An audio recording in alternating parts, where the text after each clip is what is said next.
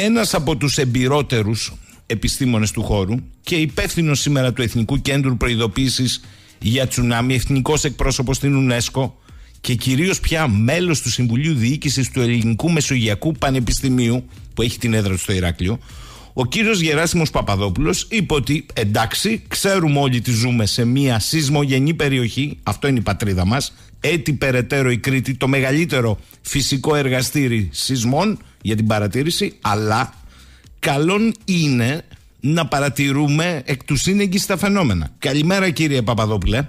Καλημέρα σας. Ε, δεν είναι Κυριακή που πήγε και ψήφισε η Μεσαρά και κουνήθηκε από το αποτέλεσμα. Είναι η φυσική εξέλιξη ενός φαινομένου το οποίο όμως σας έχει σημάνει συναγερμό.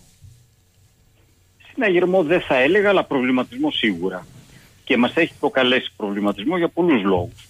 Ο πρώτος λόγος είναι ότι το 5,1 μπορεί να μην είναι πολύ μεγάλο σεισμός αλλά είναι ένα αξιόλογο μέγεθος σεισμού και μαζί με τους λίγους που προηγήθηκαν δύο μέρες πριν με μεγαλύτερο 4-2 και αυτούς που ακολούθησαν όλο το βράδυ μέχρι και τώρα που μιλάμε πριν λίγο έγινε κι άλλο 2,9 αν πρόσεξα καλά συνιστούν μια σεισμική έξαρση η οποία εξελίσσεται, εδώ είναι ο δεύτερος λόγος, εξελίσσεται σε χερσαίο περιβάλλον. Δεν έχουμε την περίπτωση εκείνη που πολλές φορές άλλες είχαμε, όπου ένας σεισμός έχει την αιστεία του σε υποθαλάσσιο περιβάλλον και αυτό δημιουργεί μια απόσταση ασφαλείας από τις κοντινότερες πόλεις, κομοπόλεις. Οπότε και μεγάλο να είναι το μέγεθος του σεισμού δεν μπορεί να βλάψει. Όπως είχε γίνει τέτοιες μέρες, συγκεκριμένα στις 2 Μαΐου του 2020, όταν έγινε σεισμός μεγέθους 6,6 πολλά χιλιόμετρα όμως νότια της Ιεράπετρας. Μεγάλο το μέγεθος αλλά δεν μπόρεσε να βλάψει λόγω της απόστασης. Εδώ έχουμε μικρότερο μέγεθος, αλλά σε ο χώρο και κοντά σε κατοικημένες περιοχές. Και το ιστορικό πρέπει να λάβουμε υπόψη. Δεν είναι ιδιαίτερα μεγάλο, δηλαδή με ε, πολύ συχνούς σεισμούς στην περιοχή, ωστόσο είναι πολύ ενδεικτικό ότι το 1959 είχαμε ακριβώς στην ίδια περιοχή μέγεθος 6,3 με βλάβες σημαντικές στα πιτσίδια, αν το λέω καλά. Ναι, ναι, μια χαρά το λέτε. Ε, που είναι ακριβώς στην ίδια περιοχή ε, και στην ευρύτερη περιοχή είχε προκαλέσει βλάβες τότε εκείνος ο σεισμός. Εάν τα αξιολογήσουμε λοιπόν όλα αυτά μαζί, τότε νομίζω ότι προκύπτει ανάγλυφα από μόνο του ε, το, από μόνη της η δικαιολόγηση του γιατί πρέπει να υπάρχει και υπάρχει προβληματισμός. Γι' αυτό άλλωστε ε, νομίζω ότι ε, ήρθε και στην Κρήτη ο, mm-hmm. ο, ο, ο αγαπητός συνάδελφος κ. Λέκας, ο πρόεδρος του ΟΑΣ, ε, εάν δεν υπήρχε στοιχείο λοιπόν προβληματισμού δεν θα γινόντουσαν όλα αυτά. Κύριε Παπαδόπουλε, ε, θέλω να σας ρωτήσω δύο πράγματα. Ε, θυμάμαι ότι πάντα λέτε ότι δεν υπάρχει ε, ασφαλής διατύπωση όσο ένα φαινόμενο είναι σε εξέλιξη. Θα μπορούσε όμως με την σεισμική ακολουθία μετά τον 5,1 να, να έχετε την εντύπωση, θα μπορούσε να εντυπωθεί ότι ήταν ο κύριος ε, σεισμός ή δεν μπορούμε να το πούμε ακόμη; Ακόμη δεν μπορούμε να το πούμε.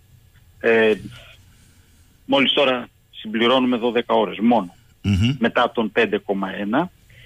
Βέβαια η ακολουθία που έπεται από τον 5,1 έχει αρχίσει έστω και αμυδρά να δίνει την εικόνα μιας φυσιολογικά εξελισσόμενης μετασυσμικής ακολουθίας γεγονός που θα μπορούσε να οδηγήσει κάποιον στο συμπέρασμα ότι εντάξει αυτός ήταν ο 5,1 πέρασε ο κίνδυνος. Ακόμα είναι πολύ αμυδρό αυτό. Δεν έχουμε βεβαιότητα, δεν έχουμε σιγουριά. Θα ήταν πολύ παρακινδυνευμένο. Πρέπει να περιμένουμε. Πρέπει να Πρέπει περιμένουμε, να περιμένουμε. 2-3-24 ώρα ε, ίσως την ημέρα των εκλογών που θα βγει το αποτέλεσμα, να βγει και το αποτέλεσμα του σεισμού. Ε, αλλά το λέω ενδεικτικά δύο-τρεις μέρες, δεν υπάρχουν τυποποιημένα χρονικά όρια. Εξαρτάται από την πορεία του ίδιου του φαινομένου.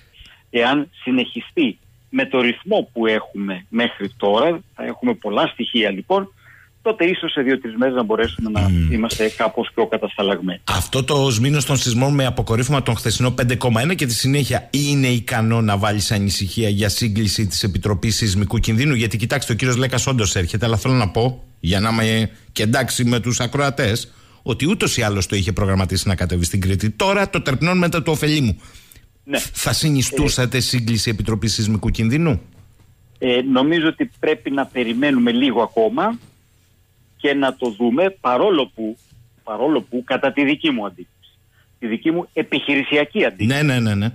ποτέ δεν βλάπτει το να ε, συγκληθεί η Επιτροπή, έστω και διαδικτυακά, να ανταλλάξει στοιχεία, να ανταλλάξει απόψεις, γιατί ξέρετε, και εγώ σας μιλώ και άλλος μιλάνε, άλλοι μιλάνε, κανείς δεν είναι ο Πάπας όμως.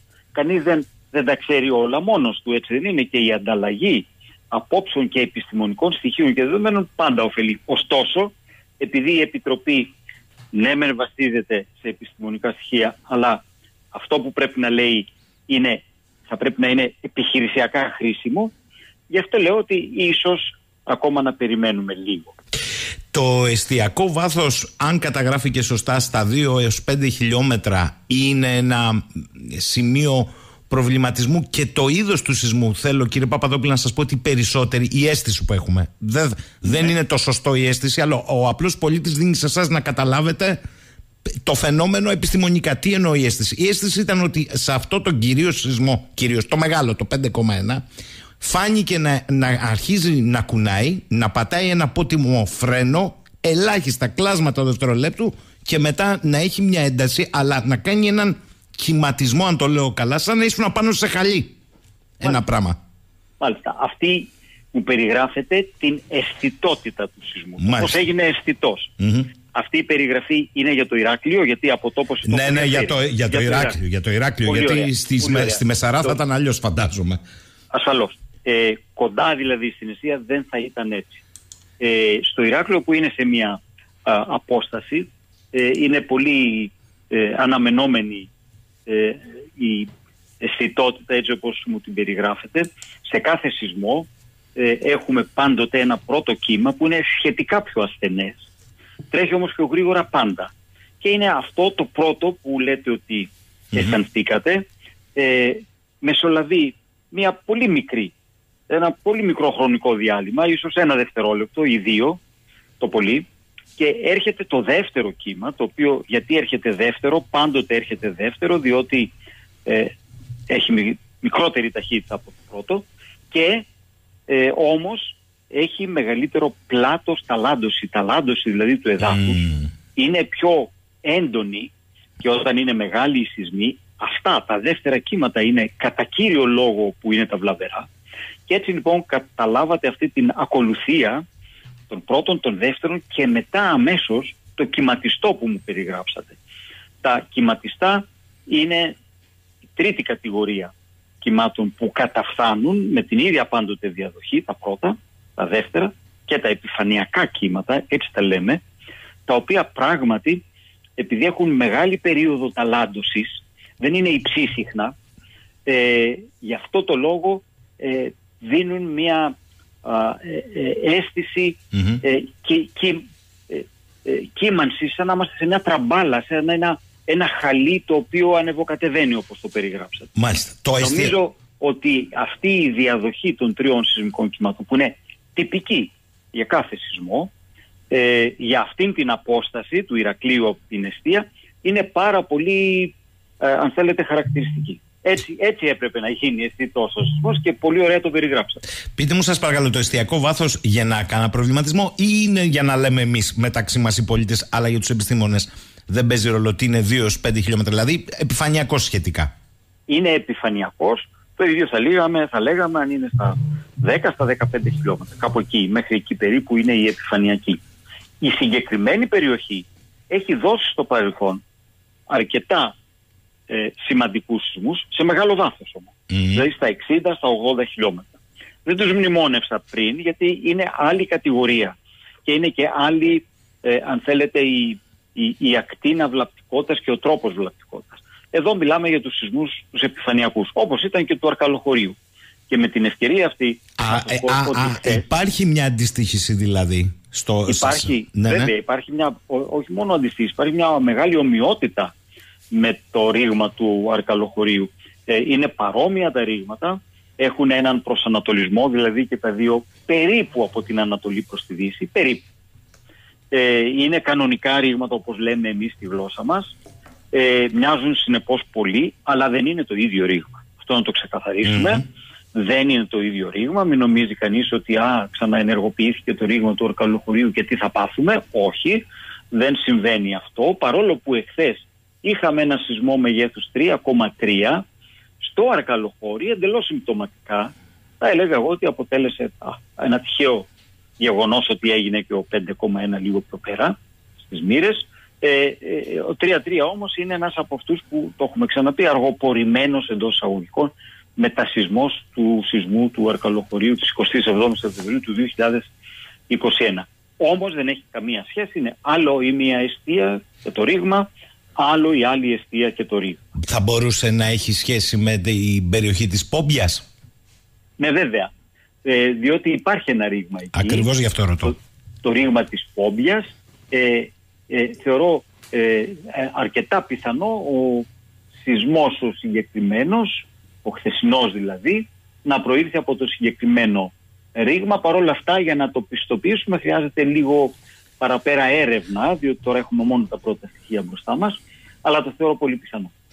Ε, κύριε καθηγητά, άρα λέτε ότι Κυριακή Δευτέρα θα έχουμε πολύ ε, ε, περισσότερα στοιχεία και ολοκληρωμένη εικόνα αν είχαμε τον κύριο σεισμό και τη μετασυσμική ακολουθία ή αν θα πρέπει να είμαστε σε μια ενεργοποίηση εσείς άλλωστε ούτε, ούτως ή άλλως είστε ενεργοποιημένοι θέλω να σας ρωτήσω γιατί μου στέλνουν εδώ μηνύματα Μήπως λέει μπορεί να μας πει ο κ. Παπαδόπουλος κάτι και για το φαινόμενο των σμηνοσυρών σεισμών στον Κορινθιακό το τελευταίο διάστημα; Θεωρεί ότι είναι προσυσμοί μεγάλου γεγονότος. Ε, παιδιά, μα το ξέρε. Θα είχε σημαίνει αλάρμα. Με συγχωρείτε δηλαδή. Ή μια διαδικασία έκκληση ναι, ενέργειας. Να, να, το σχολιάσουμε και αυτό. Πράγματι, τις τελευταίες μέρες έχουμε μια σειρά, θα έλεγα εγώ, σεισμών ε, κοντά στο Ξυλόκαστρο. Ε, δεν έχουμε μεγάλα μεγέθη προς το παρόν. 3,9 είναι το μεγαλύτερο. Ε, εκείνο που είναι το ερώτημα, για να είμαι ακριβής επιστημονικά, το ερώτημα είναι το εξής. Πρόκειται για σμηνοσυρά, όπως μερικοί ρωτούν, ή για προσυσμούς. Άλλο το ένα, άλλο το άλλο. Γι' αυτό τώρα, επειδή δεν ε, μπορούμε προς το παρόν να διακρίνουμε τι από τα δύο είναι, και είναι κρίσιμο να το διακρινουμε ε, γι' αυτό λέω εγώ μια σειρά σεισμών. Εάν μεν είναι αποδειχθεί ότι είναι σμήνο σειρά, τότε κατά πάσα πιθανότητα αποφεύγουμε έναν ισχυρό σεισμό. Ε, διότι οι σμηνοσυρές χαρακτηρίζονται από το γεγονός ότι ε, έχουμε ε, συνήθως σχετικά μικρούς σεισμούς με περίπου τα ίδια μεγέθη που δεν καταλήγουν σε μεγάλο. Αυτό είναι το σμήνος, η σμηνοσυρά. Ενώ αντίθετα στους προσυσμούς, όπως ήταν και στο Αρκαλοχώρι επί τέσσερις μήνες πριν το σεισμό του Αρκαλοχώριου, το έχουμε αναλύσει αυτό, στους προσυσμούς έχουμε μία συνεχή αύξηση του πλήθους των σεισμών και του μεγέθους των σεισμών και καταλήγουν σε ισχυρό σεισμό. Ακόμα λοιπόν και το έχω ήδη δημοσιοποιήσει αυτό στα κοινωνικά mm τον προβληματισμό εάν πρόκειται στο ξυλόκαστο για πρόσυσμους ή για σμηνοσυρά δεν είναι ακόμα ξεκάθαρο, δεν μπορούμε προς το παρόν να το απαντήσουμε. Δεν έχει κάνει πολλούς σεισμούς ώστε να μας βοηθάει αυτό, γιατί όσο μεγαλύτερο το πλήθος, τόσο περισσότερο μας βοηθάει. Ε, ελπίζω τις επόμενες μέρες και εκεί να ξεκαθαρίσει περισσότερο το τοπίο. Όμως και ο Κορινθιακός είναι μία περιοχή με πολύ υψηλή σεισμικότητα. Ε, έχω πολλές φορές τελευταίο διάστημα πει και το κάνω για να κρούσω το καμπανάκι. Διότι δεν ακούνε όλοι τα καμπανάκια. Θα, αν έχουμε λίγο χρόνο θα εξηγήσω αμέσως μετά τι εννοώ ε, στον κονθιακό κόλπο έχουμε ισχυρούς σεισμούς με μέγεθος από 6 και πάνω. Και λέω από 6 και πάνω γιατί αυτοί μας απασχολούν κατά κύριο λόγο. Αυτή είναι η βλαβερή. Κάθε περίπου 25 με 30 χρόνια. Ο τελευταίος σεισμός έγινε πριν από 28 χρόνια. Τον Ιούνιο του 1995 στο Αίγιο. Έκτοτε δεν έχουμε κανέναν ισχυρό σεισμό. Κάποιος λοιπόν καταλαβαίνει ότι έχουμε φτάσει στο μέσον όρο, τον έχουμε αρχίσει να τον ξεπερνάμε. Άρα αργά ή γρήγορα και στον Κορινθιακό κόλπο, όπως και σε άλλες περιοχές της χώρας, θα βρεθούμε ενώπιος, ενωπίο, να το πω εντός εισαγωγικών, με τον Εγκέλαδο. Πρέπει λοιπόν να λαμβάνουμε μέτρα. Τα μέτρα τα περιγράφει το σχέδιο Εγκέλαδο, το οποίο είναι πανελλαδικής εφαρμογής, υποχρεωτικό.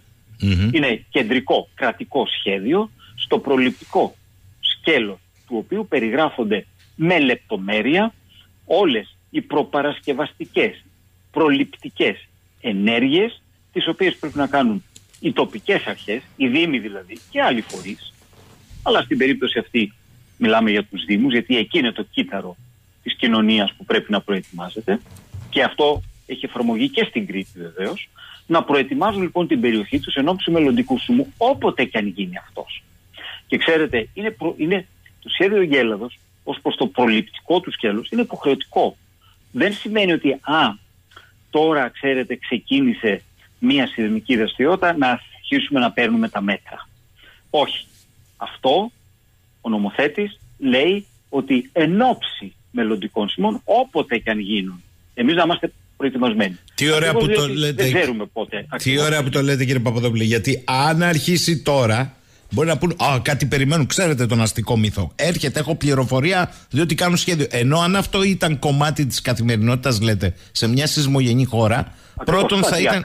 Ναι, ναι. Σταδιακά, με πρόγραμμα, οργανωμένα, χώρια που, εάν υποθέσουμε ότι έχουμε μια έξαρση κάπου και ο σεισμός γίνεται σε δύο μήνες από τώρα, ένας ισχυρός σεισμός. Τώρα που ξεκινάει η έξαρση, λέμε Α, για να πάρουμε προληπτικά μέτρα. Θα πρέπει να σας πω ότι δεν προλαβαίνουμε σχεδόν τίποτα. Οι αρχές, οι τοπικές, δεν προλαβαίνουν σχεδόν τίποτα. Κατά συνέπεια, πρέπει να είναι ένας μακροπρόθεσμος στόχος και μια μακροπρόθεσμη έγνοια η, η λήψη των προληπτικών μέτρων. Πείτε μου για τα καμπανάκια που είπατε, αν θέλετε, αν έχετε λίγο χρόνο. Έχουμε λίγο χρόνο. Αυτό είναι το καμπανάκι. Αυτό. Ότι το σχέδιο εγκέλαδος σε πάρα πολλές περιπτώσεις στη χώρα δεν εφαρμόζεται προληπτικά. Προληπτικά. Πάρα πολλοί δίνουν. Άλλοι αμελούν, άλλοι το ξεχνούν. Ε, άλλοι δεν έχουν την πλήρη τεχνογνωσία. Άλλοι ε, δεν έχουν επαρκές προσωπικό. Όμως, ε, άλλοι αμελούν. Ε, όμως, εάν δεν έχω τεχνογνωσία, απευθύνομαι σε κεντρικές αρχές. Αυτά είναι γνωστά πράγματα. Υπάρχει η Γενική Γραμματεία Πολιτικής Προστασίας, υπάρχει ο ΟΑΣΠ, ο οποίος μπορούν, μπορούν να βοηθήσουν, ακόμα και ε, επιστημονικά ιδρύματα, πανεπιστήμια, ερευνητικά κέντρα και αυτά μπορούν να βοηθήσουν εάν σε ένα Δήμο θέλουν, αλλά έχουν μια δυσκολία πώς θα κάνω το Α, πώς θα κάνω το Β. Ε, από την άλλη μεριά, ε, το καμπανάκι λέει ότι ο καθένας πρέπει να παίρνει τις δικές του ευθύνες. Μεθαύριο αν γίνει ένας σεισμός ισχυρός κάπου και έχουμε τα χειρότερα, όλοι θα ψάχνουν τον ένα. ε, υπάρχει κανείς που να αμφιβάλλει γι' αυτό. Οι πολίτες, τα ΜΜΕ και οι ίδιοι οι τοπικοί άρχοντες θα ψάχνουν τον έλεγχο και ενδεχομένως να λένε Α, ξέρετε, δεν μας είχαν πει κάτι οι επιστήμονες, δεν μας είχαν προειδοποιήσει. Οι επιστήμονες μιλάμε πολύ και ανοιχτά. Μια χαρά. Ε, εσείς, ε, εσείς μιλάτε ανοιχτά και τεκμηριωμένα και θέλω να σας πω ότι εδώ θέσα, θέσατε σήμερα γιατί καλό είναι να μαθαίνουμε κάποιες πληροφορίες, αλλά δεν είμαστε εμείς ειδικοί. Εσείς είστε μέγεθος, ένταση. Βλέπω εδώ τους ακροατές ρωτάνε ε, σμήνοσυρέ. Παιδιά, αυτό που θα έπρεπε να ρωτάμε είναι αυτό που είπε ο κύριος Παπαδόπουλος. Διότι είναι μείζον θέμα εθνικής ασφάλειας. Και το λέω με yeah. απόλυτη επίγνωση. Να, yeah. να σου το πω διαφορετικά. Εσείς λέτε υπάρχουν αυτά στα, στα βιβλία, by the book. Γιατί επιχειρησιακά γίνονται ασκήσεις ουσίας; Είναι μόνο να βγάλεις την πυροσβεστική, να σηκώσει το γερανοφόρο. Δεν πρέπει να κάνεις ασκήσεις, ιδίως σε σεισμογενείς περιοχές όπως είναι η Κρήτη και όλη η χώρα. Πώς εκενώνεις μία πολυκατοικία, ένα σπίτι, πού συγκεντρώνεσαι; Αυτά δεν θα έπρεπε να λειτουργούν. Αν μπορεί το, η τεχνολογία να βοηθήσει με μηνύματα προειδοποιητικά, όλα αυτά δεν θα έπρεπε να γίνονται. Ασφαλώς. Ασφαλώς θα έπρεπε να γίνονται. Και εδώ να έρθουμε λίγο και στους πολίτες. Και οι πολίτες μπορούν να ενεργήσουν. Υπάρχουν οι οδηγίες, ε, τα μέτρα ορθής αντισυσμικής συμπεριφοράς.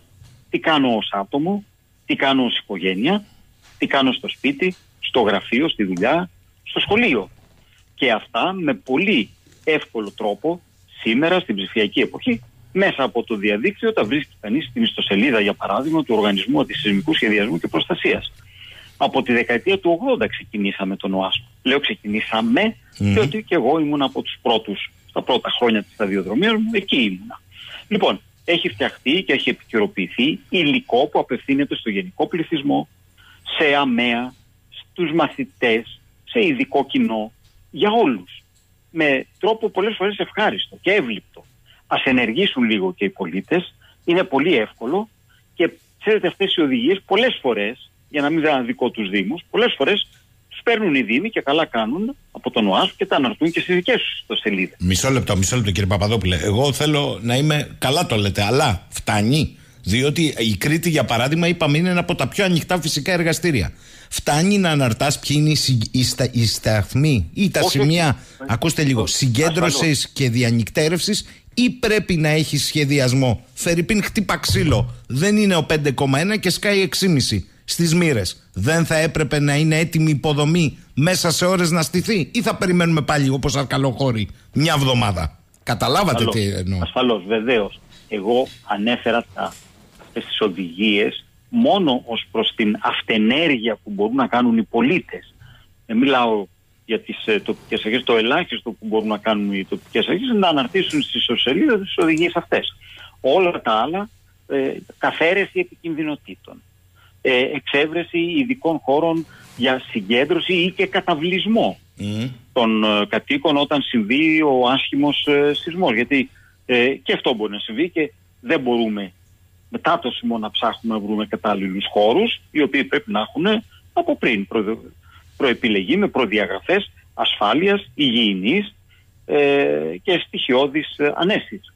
Ε, ε, όλα αυτά λοιπόν, ε, το, το, το τοπικό σχέδιο ε, έκτακτης ανάγκης, τα μνημόνια ενεργειών σε τοπικό επίπεδο, όλα αυτά λέει το σχέδιο εγκέλαδος πώς μπορούν να γίνουν. Και ειλικρινά μπορώ να σας πω ότι τα περισσότερα από αυτά δεν απαιτούν κάποιο κόστος. Ίσως κάποια κόστος να έχει αν θέλουμε να κάνουμε μια καθαίρεση ε, Έχετε δίκιο, αλλά κύριε Παπαδοπούλη, κοιτάξτε, κάποιο, ε, δεν είστε εσείς βέβαια ο αρμόδιος να μου απαντήσετε. Όμως, επειδή ξέρω ότι στο δημόσιο λόγο δεν παίζετε με τις λέξεις. Κοιτάξτε, εχθές έχετε ένα σεισμικό γεγονός 5,1 και τα ξημερώματα 4,2. Ερώτηση απλή, κουτί ανόητη ή προβοκατόρικη αυτό το συφοριασμένο το 112 δεν έπρεπε να στείλει όπως χτυπάει σε άλλα πράγματα να χτυπήσει και να στείλει κάποιες πρώτες οδηγίες ότι αν δεν είστε σίγουροι για το σπίτι σας μην μπαίνετε μέσα, περιμένετε να ξημερώσει. Πότε θα λειτουργούν αυτά, εκ των υστέρων; Ίσως στη συγκεκριμένη περίπτωση τα πράγματα να είναι λίγο οριακά διότι δεν ήταν μεγάλο το μέγεθος και ξέρετε σε επιχειρησιακό επίπεδο οι άνθρωποι που χειρίζονται τα θέματα αυτά κινούνται με ορισμένα ε, κριτήρια τα οποία είναι και κοινωνικά. Δηλαδή σου λέει μήπως προκαλέσω περισσότερη αναστάτωση από αυτή που τα ίδια τα πράγματα επιβάλλουν. Ε, πώς να πω, δηλαδή συνεκτιμώνται όλα αυτά. Ε, ίσως κάποιος να έλεγε ότι θα ήταν υπερβολικό, ίσως κάποιος άλλος να έλεγε όχι θα ήταν χρήσιμο. Εξάλλου, ε, μην ξεχνάμε ότι στην Ελλάδα δεν έχουμε ε, ήδη μεγάλη διαδρομή με τη χρήση του 112 και όση χρήση έχει γίνει μέχρι τώρα, κυρίως σε φαινόμενα πυρκαγιών, δασικών πυρκαγιών το καλοκαίρι, τα ναι. τελευταία χρόνια, νομίζω mm. το ξέρουμε όλοι, ε, θα πρέπει πρώτα να γίνει η αποτίμηση του πώς λειτουργήσε. Πότε λειτουργήσε θετικά, πότε λειτουργήσε αρνητικά, πότε προκάλεσε προβλήματα, πότε ε, έλυσε προβλήματα ώστε στο μέλλον η λειτουργία του 112 να είναι ακόμα πιο ε, αποτελεσματική. Σε κάθε περίπτωση όμως συμφωνώ ότι είτε με το 112 είτε με έναν άλλο τρόπο πρέπει να υπάρχει πιο οργανωμένη ενημέρωση, πληροφόρηση και οδηγίες. Μόλις τώρα που μιλάμε, ξέρετε τι μήνυμα έλαβα από την Κρήτη, από κάποια κυρία, η οποία ρωτάει ότι, ε, συγγνώμη σας ανησυχώ, ακούστηκε ότι περιμένετε 10 ρίχτες στην Κρήτη και όλοι έχουν κατέβει. Ε, δεν καταλαβαίνω. Από πού προκύπτουν αυτά τα πράγματα; Από πού προκύπτουν αυτά τα πράγματα; Υπάρχει και ένα έλλειμμα λοιπόν πληροφόρησης μέσα στον κόσμο. Γι' αυτό πρόσφατα δεν ξέρω αν έχετε δει. Λέω ότι έχω ξεκινήσει μαζί με τους συνεργάτες μου μία εκστρατεία αντισυσμικής ενημέρωσης σε όλη τη χώρα. Σε όλη τη χώρα πηγαίνουμε mm εθελοντικά. Υπάρχει μεγάλο έλλειμμα πληροφόρησης. Δεν επαρκούν με αυτά που κάνουν οι κεντρικές υπηρεσίες. Χρειάζεται να, να υπάρξει, αν θέλετε, εκστρατεία από τοπικές υπηρεσίες, περιφέρειες και δήμους. Αλλιώς δεν θα κάνουμε ουσιαστικά βήματα. Ε, μου λέει εδώ ο Χρήστος, τα σχέδια έκτακτης ανάγκης δεν είναι ζήτημα ημερών, αλλά ζήτημα λεπτών.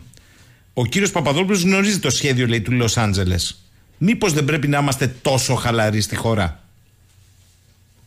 Ε, τα σχέδια για να φτιαχτούν όπως πρέπει να φτιαχτούν θέλουν αρκετό χρόνο. Δεν, δεν, ξέρω τι εννοεί ο φίλος μας ότι είναι ζήτημα λίγων λεπτών. Δεν το καταλαβαίνω αυτό. Ε, όμως όταν ξεκινήσω σήμερα σε δύο, τρεις, πέντε μήνες θα έχω τελειώσει. Αν είχα ξεκινήσει λοιπόν το 2020 τώρα θα ήμουν έτοιμος. Και κάθε χρόνο θα μπορούσα απλώς να το επικαιροποιώ. Τι είναι αυτό που πρέπει να επικαιροποιεί κάποιος; Για παράδειγμα, έχουμε, όπως προβλέπετε, λίστα με τους μηχανικούς της περιοχής μας. Διότι μόλις γίνει ο σεισμός θα τους χρειαστώ. Για να ε, κάνουν... Έλατε, ε, ακόμα έχουμε τις κίτρινα εδώ. Τις αυτοψίες. Έχω λίστα με τους γιατρούς της περιοχής μου. Ή είναι μια λίστα προ 20 ετίας. Οι μισοί έχουν φύγει, άλλοι έχουν φύγει από το επάγγελμα, άλλοι έχουν μετακομίσει. Αυτό θα πει επικαιροποίηση. Φτιάχνω, έχω τη βασική λίστα και κάθε τόσο την επικαιροποιώ. Και άλλα πολλά. Κύριε Παπαδόπουλε, εν κατακλείδη, τι να κρατήσουμε; Κρατάμε ότι είμαστε ψύχρεμοι, το λέω για τους κατοίκους, ακούμε τι λένε οι επιστήμονες, τι λένε οι αρχές, εάν λένε κάτι και οι αρχές και εμείς σαν πολίτες, σαν πολίτες κοιτάμε να ε, ξαναθυμηθούμε ή να τα δούμε από την αρχή να δεν τα έχουμε δει ποτέ, ε, τα μέτρα, τις οδηγίες για τους ορθούς τρόπους ε, αντισυσμικής συμπεριφοράς. Γεράσιμος Παπαδόπουλος θέλω να τον ευχαριστήσω. Μου στέλνει εδώ ένας φίλος ο Λευτέρης μου λέει καλά είναι τόσο σημαντικό να αφιερώνετε όλη την εκπομπή για τους σεισμούς. Με συγχωρείτε παιδιά την Κυριακή θα πάτε να ψηφίσετε αλλά οι σεισμοί απασχολούν όλη τη χώρα. Για να, να τα λέμε να καταλαβαίνόμαστε Καλημέρα κύριε Παπαδόπουλε να είστε καλά. Ευχαριστώ πάρα πολύ. Και εγώ ευχαριστώ. Καλημέρα